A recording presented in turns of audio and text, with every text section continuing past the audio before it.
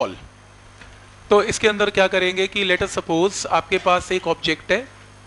Object वैसे तो हमने टोटल एनर्जी कांस्टेंट कर लिया था लास्ट टाइम लेकिन वो कंजर्वेटिव नॉन कंजर्वेटिव के तरीके से इसमें बोल रहा है कि फ्रीली फॉलिंग बॉडी की टोटल एनर्जी कांस्टेंट प्रूव करो और टोटल एनर्जी के अंदर sum of potential and kinetic तो लेटर सपोज़ ये ऑब्जेक्ट यहाँ से स्टार्ट होता है with initial velocity of zero at this point total potential energy is equal to what M G H kinetic is zero total is M G H at point B at point B total energy is sum of potential and kinetic potential में क्या आएगा? M G into H minus X kinetic में let us suppose this ball has acquired a velocity of V at this point तो kinetic energy is equal to half M V square अब v की value इस instant पर निकाल लेते हैं। Let us suppose body ने कितना डिस्टेंस ट्रेवल किया? X तो v square minus zero square is equal to two G X इस v स्क्वायर को उठा के यहाँ पुट करेंगे टू जी एक्स टू से two cancel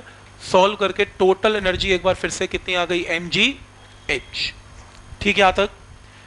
Next is at point C at point C total energy is sum potential potential यहाँ पर क्या आएगी? Zero kinetic will be equal to half M V dash का स्क्वायर तो we dash की value यहाँ से यहाँ निकल आएगी। V dash square minus zero square is equal to two G X sorry two G H आना चाहिए था यहाँ पे।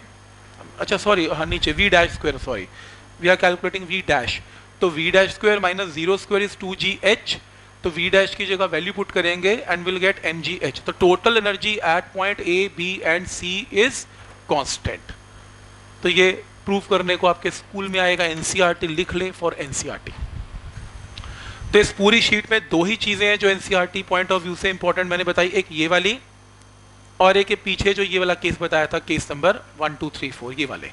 तो पूरी शीट में बाकी सब अंडरस्टैंडिंग बेस्ड है। कुछ याद नहीं करना आपको, सिर्फ़ समझ आना चाहिए। अदरवाइज़ ये दो पार्ट दो चीज़ें ऐसी हैं जो आपको पता होनी चाहिए राइट नेक्स्ट है, अगर एक फ्रीली फॉलिंग बॉडी नीचे आ रही है या ऊपर जा रही है लेटर सपोज़ ऊपर जा रही है तो अगर कोई बॉल ऊपर जाएगी तो पोटेंशियल एनर्जी की वैल्यू उसमें क्या होगी? पोटेंशियल एनर्जी की वैल्यू ऊपर जाते जाते जाते इंक्रीज कानेटिक क्या होगी? Decrease total energy will remain same तो आप देख सकते हो टोटल एनर्जी इज़ कांस्टेंट और यहाँ पर कानेटिक एनर्जी जब बॉडी ऊपर जा रही है kinetic energy decrease potential energy increase तो पॉइंट समझ में आ रहा है यहाँ तक? कोई डाउट इसमें?